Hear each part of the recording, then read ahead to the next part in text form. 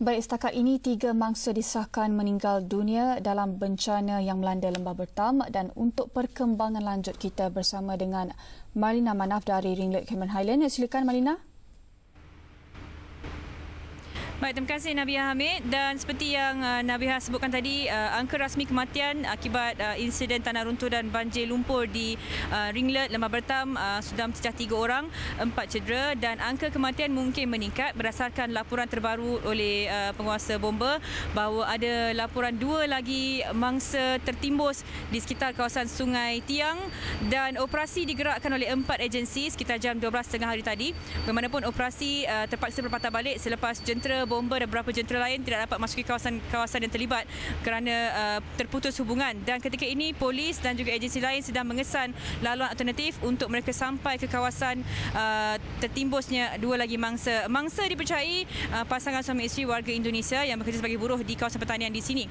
Dan selain daripada itu anda boleh saksikan di belakang saya air sungai uh, Lembah Bertam ini masih lagi deras seperti mana yang saya laporkan jam 9 pagi tadi.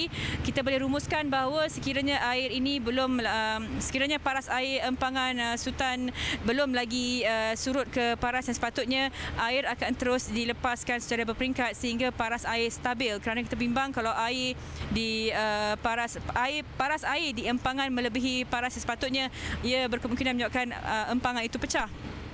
Dan uh, kalau boleh saya nyatakan air ini seperti mana yang dilaporkan masih lagi seperti pukul 9 tadi.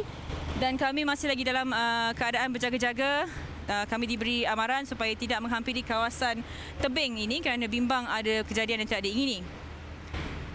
Dan uh, sebenarnya insiden tanah runtuh dan banjir kilat di sekitar uh, Lembah Bertam ini turut menimbulkan kebimbangan kepada pengusaha homestay atau apartmen uh, di sekitar Tanah Rata dan Berincang. Ini kerana apabila tersebarnya laporan berkenaan insiden tanah runtuh di Cameron Highland, pengunjung banyak yang beranggapan Cameron Highland tidak lagi selamat untuk dikunjungi. Sedangkan hakikatnya insiden berlaku di Lembah Bertam, kawasan pertanian dan juga penerokaan tanah dan jarak Lembah Bertam dengan kawasan pelancongan di Tanah Rata Rata dan juga Berincang adalah sekitar 10 ke 18 km dan tampil memberikan kebimbang, mem, memaklumkan kebimbangan ini adalah salah seorang pengusaha Nazri Ahmad yang mengatakan tahun lalu um, situasi sama juga berlaku apabila terjadinya tanah runtuh um, jumlah tempahan uh, di, yang dibatalkan meningkat kerana mereka pengunjung merasakan tidak selamat untuk berkunjung ke tanah uh, ke Cameron Highlands.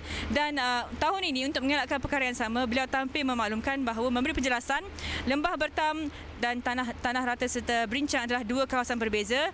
Lembah bertam bukan kawasan pelancongan tanah rata dan berincang tumpuan pelancongan yang tidak terlibat langsung dengan insiden tanah runtuh dan juga uh, banjir lumpur yang berlaku semalam. Dan kita ikuti ikuti sedutan uh, mungkin sedikit rayuan daripada Encik Nazri berkenaan dengan mohon penjelasan berkenaan kekeliruan ini. Kita dengarkan kata-kata beliau. Ah, iyalah. Uh, saya bagi uh, kawan-kawan ataupun satuan kami itu apartmen homestay yang di kawasan Kemarin Highland ni uh, mohonlah pada pelancong-pelancong jangan risau. Sebab apa kawasan-kawasan lawatan tidak terlibat, tidak ada tanah runtuh, tidak ada banjir dan di kawasan uh, tanah rata ataupun rincang tu tak ada ada sungai yang boleh menyebabkan uh, melempah sungai boleh menyebabkan banjir atau boleh memusnahkan uh, kawasan di sekeliling lah maksud saya. Ha, itu.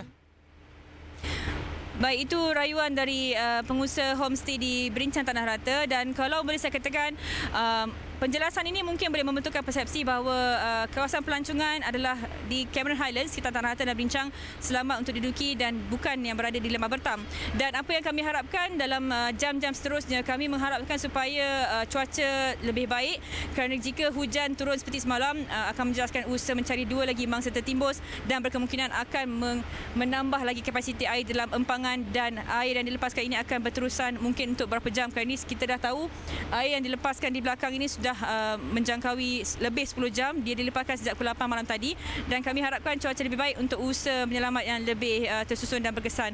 Uh, sekian sahaja laporan saya dari uh, Lembah Bertam. Kembali bersama Nabiha di studio. Baik, terima kasih Marina yang berlintas langsung daripada Ringlet uh, Cameron Highland dan kami harapkan beliau dan kru um, akan selamat menjalankan tugas di sana.